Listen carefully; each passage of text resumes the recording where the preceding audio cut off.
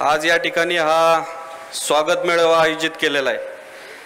आणि लवकरच लोकसभेच्या निवडणुकांना या ठिकाणी सुरुवात होणार आहे. आघाडीच्या माध्यमातून काँग्रेसचा प्रतिनिधी म्हणून या ठिकाणी मी उभा आहे. आणि खरं तर आघाडीचा गेल्या अनेक वर्षापासून राष्ट्रवादी आणि काँग्रेसची आघाडी होती. आणि काँग्रेसचे आम्ही नेते मंडळी सहसा राष्ट्रवादीच्या किंवा आघाडीच्या बरोबर लवकर येत नाही दादा परंतु अमोल कोल्हेंचा राष्ट्रवादीमध्ये प्रवेश झाला आणि त्यांचा सत्कार या जुन्नर तालुक्यामध्ये होत असताना आमच्यासारख्या कार्यकर्त्यांनी त्या ठिकाणी उपस्थित राहणं योग राहायला पाहिजे आणि ते चुकवणं योग्य नाही म्हणून खऱ्या अर्थानं आम्ही लवकरात लवकर या निमित्तानं या ठिकाणी उपस्थित राहिलो. आणि खरं तर आघाडीबरोबर जायचं जे देशात आघाडी झाली महाराष्ट्रात आधी आघाडी झाली खरं तर आज जर या महाराष्ट्राची जर परिस्थिती बघितली तर मला वाटतं अतुल शेट्टी या ठिकाणी सांगितलं का शेतकरी खऱ्या अर्थाने या ठिकाणी उरपळत चाललेला आहे. आणि शेतकऱ्यांची परिस्थिती फार नाजूक आहे. कांद्याच्या बाबतीत भाजीपाल्याच्या बाबतीत सगळ्या बाजूने आपण या ठिकाणी अभ्यास जर केला तर मला वाटत नाही शेतकऱ्यांचे गेल्या चार पाच वर्षापासूनच्या जे काय हाल चाललेत ते खरं तर या सरकारची जी काही ध्येयधोरणं आहेत त्यामुळं खरं तर शेतकऱ्यांचे हाल या ठिकाणी चालू आहेत.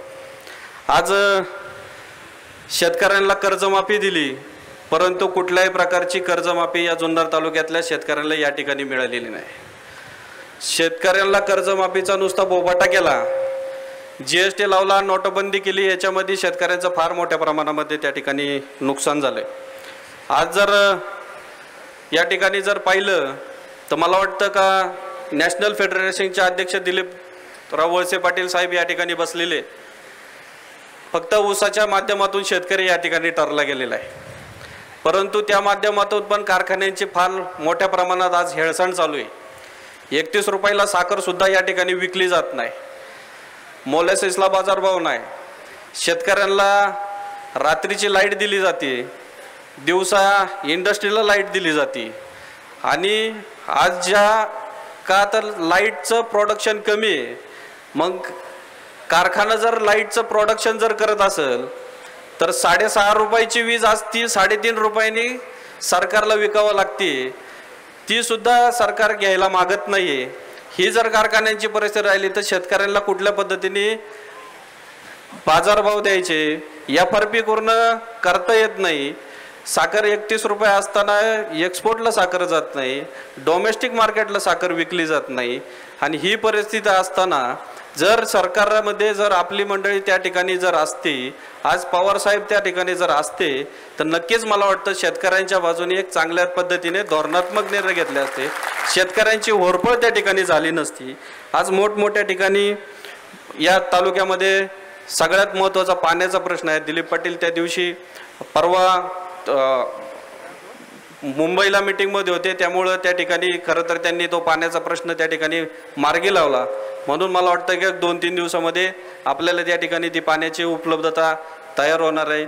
मी अधिकचा वेळ या ठिकाणी घेणार नाही. खरं तर आमचे काँग्रेसचे सर्वच नेते मंडळी सर्व कार्यकर्ते मंडळी या निमित्ताने या ठिकाणी उपस्थित झालेले आहे लोकसभेच्या अजितदादा या ठिकाणी जाहीर करणारच आहेत का?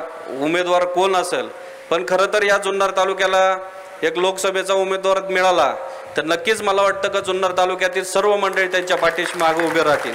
कारण मला वाटतं स्वर्गीय निवृत्ती शेठ शेरकरांनंतर या ठिकाणी या जुन्नर तालुक्याला खासदारकीचं नेतृत्व करायची संधी या ठिकाणी मिळालेली आहे आणि नक्कीच पुढच्या काळामध्ये मला अपेक्षा आहे की ज्या वेळेला लोकसभेला आम्ही या ठिकाणी राष्ट्रवादीबरोबर काम करतोय तर नक्कीच उद्याच्या विधानसभेला सर्व राष्ट्रवादीवाले काँग्रेस बरोबर या ठिकाणी काम करतील.